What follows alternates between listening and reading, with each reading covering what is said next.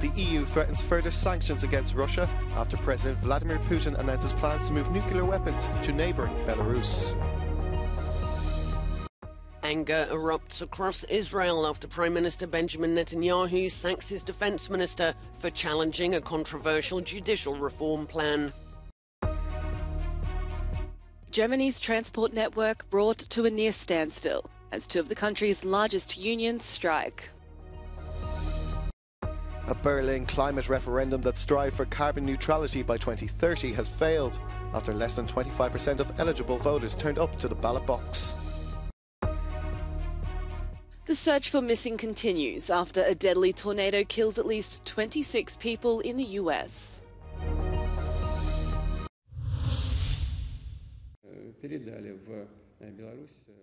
The US says it has seen no indication that Russia has moved nuclear weapons to neighbouring Belarus, despite President Vladimir Putin announcing plans to station such weapons there. The Russian leader's declaration during an interview at the weekend has brought swift condemnation from NATO, calling it dangerous and irresponsible rhetoric. The EU's foreign policy chief, Joseph Borrell, cautioned Belarus against hosting Russian nuclear weapons on its territory. Borrell tweeted, Belarus hosting Russian nuclear weapons would mean an irresponsible escalation and threat to European security. Belarus can still stop it, it is their choice. The EU stands ready to respond with further sanctions. Belarusian leader Alexander Lukashenko is a close ally to Putin and allowed his country to be used as staging ground to send Russian troops into Ukraine last year. Russia says the plan to station tactical nuclear weapons in Belarus is in response to the West's increasing military support for Ukraine. And he notes that Washington has nuclear weapons in Belgium, Germany, Italy, the Netherlands and Turkey. Ukraine has demanded an emergency meeting of the UN Security Council.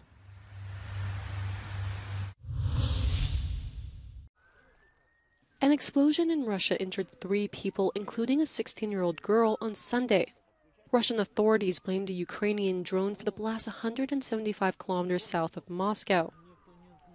Ukraine has not commented on the explosion that reportedly damaged three residential buildings, four houses, and created a crater around 5 meters deep.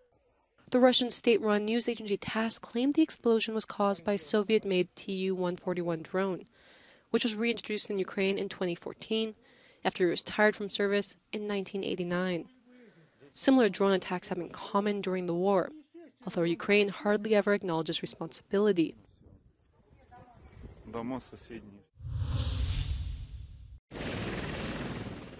Tens of thousands of Israelis poured onto the streets of cities across the country on Sunday night in an outburst of anger. It followed the sacking of Israel's defense minister by Prime Minister Benjamin Netanyahu for challenging the leader's judicial overhaul plan. Protesters in Tel Aviv blocked a main highway and lit large bonfires while police scuffled with crowds outside Netanyahu's private home in Jerusalem. In a brief televised statement on Saturday, the now former Defence Minister Yoav Gallant had warned that weeks of protests to the judicial plan were a security threat and should be scrapped. Netanyahu's government is to hold a parliamentary vote this week on a centrepiece of the overhaul, a law that will give the governing coalition the final say over all judicial appointments. It also seeks to pass laws to grant Parliament the authority to override Supreme Court decisions with a basic majority and limit judicial review of laws. Critics say the reforms will remove checks and balances on Israel's democracy.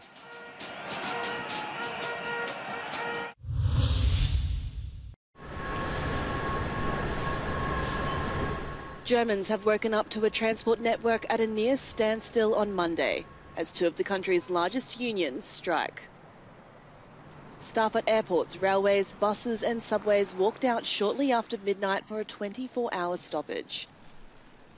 The unions are demanding wage increases of more than 10% in order to recover purchasing power lost in recent years. Employers are proposing a 5% increase, with two lump sum payments of up to 1,500 euros. The strikers hope to increase pressure on employers ahead of another round of pay negotiations. This was a culmination of a years long campaign by a grassroots movement to push Berlin's goal of becoming carbon neutral to 2030. But that failed in a referendum on Sunday. Nearly 51% of voters supported the proposal, but the referendum needed 25% of eligible voters to cast a ballot for it to succeed. Preliminary results showed the yes side was more than 150,000 votes short.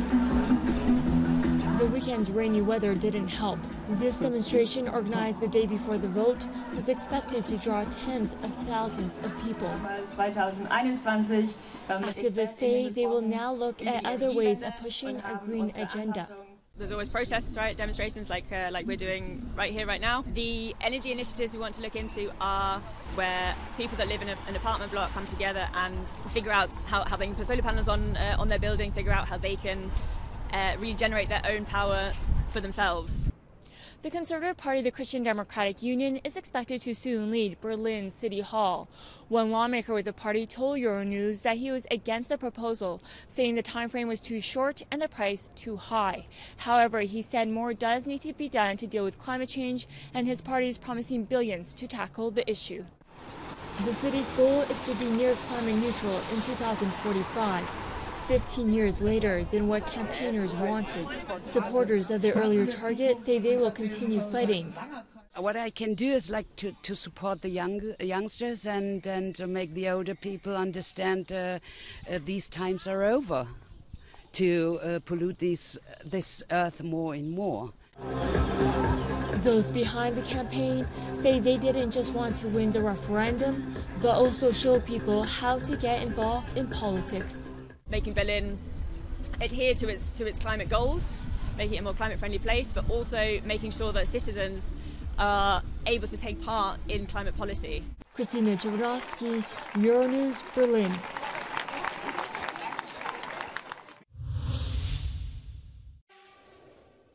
Search efforts continue after a deadly tornado killed at least 26 people in the southern US. The powerful storm ripped across Mississippi and Alabama, tearing off roofs, smashing cars, and leveling entire neighborhoods. President Joe Biden tweeted that he and the First Lady were praying for those who have lost loved ones and those whose loved ones are missing, promising full federal support. Here, people need help, and uh, it, was just devastating last night. Pitch black dark, and uh, trying to get everybody out we could get out get to location. We lost everything, but we got our life. Towed the house out, towed the truck out, the car, and the other car. But we good. As residents come to grips with this devastation, emergency services are now preparing for another round of possible tornadoes Sunday. Cubans went to the polls on Sunday to vote for 470 legislators who will represent them in the National Assembly. Despite fears of rising abstination rates as the government struggles with shortages, inflation, and growing social unrest, some 8 million people, more than 70% of eligible voters, turned out, according to official figures. However, the opposition has called the numbers impossible, dubbing them government mathematics. Initial results are expected later today.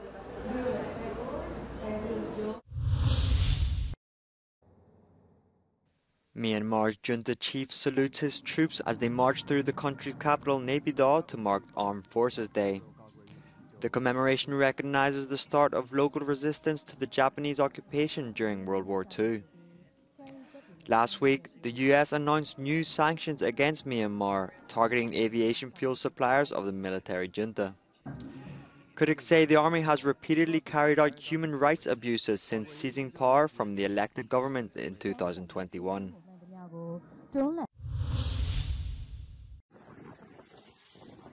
Iraq's prime minister has ordered the suspension of working hours in all provinces of the country on account of heavy rainfall and bad weather conditions.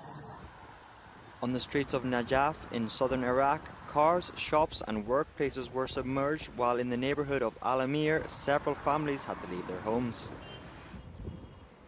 Iraq is the fifth most vulnerable nation in the world to the effects of climate change, including water and food insecurity.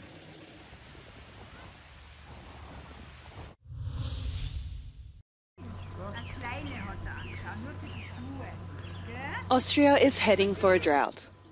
Due to lack of rain, the groundwater level is worryingly low in half of the country, especially in the east, where the Zicksee Lake has dried up completely.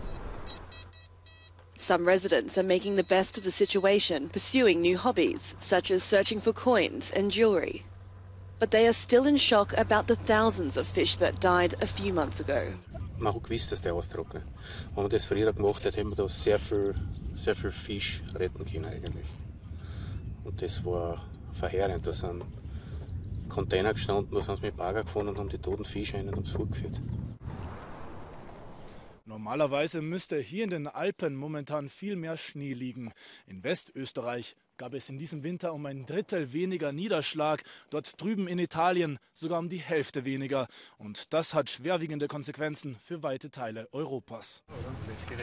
Wir erwarten eine deutlich geringere Schneeschmelze, weniger Schmelzwasser, das den Flüssen zugeführt wird und dann mitunter eine drohende Niederwassersituation in den kommenden Wochen und Monaten. Ja, wenn wir jetzt in den nächsten Wochen ergiebige Niederschläge messen würden, wie mit diesem Messgerät hier, wäre das fürs Grundwasser noch keine Entspannung. Hierzu müsste es über Wochen und Monate deutlich mehr regnen, um hier die Grundwasserspeicher wieder deutlich aufzufüllen. The Austrian government wants to invest more in the drinking water infrastructure, such as deeper wells to secure the water supply for the population.